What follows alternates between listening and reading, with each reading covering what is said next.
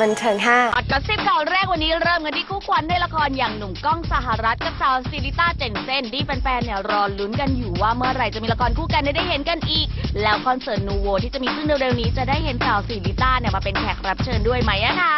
ก็ปีหน้าก็มีหนังชวนอยู่เหมือนกันนะครับชวนเล่นเล่นคือผมผมนำเสนอบอกว่า อยากจะให้เป็นลิต้าเล่นนำเสนอนำเสนอหนังที่เขาชวนมา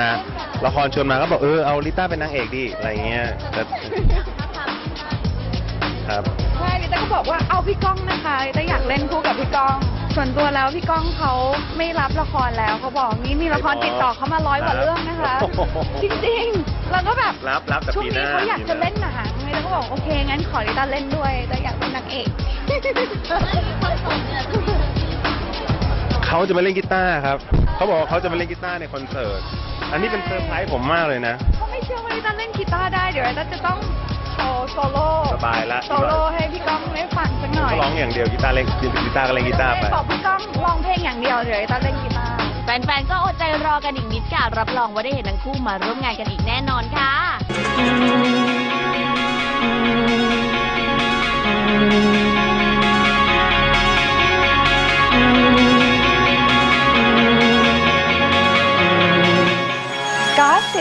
บันเทิงห้า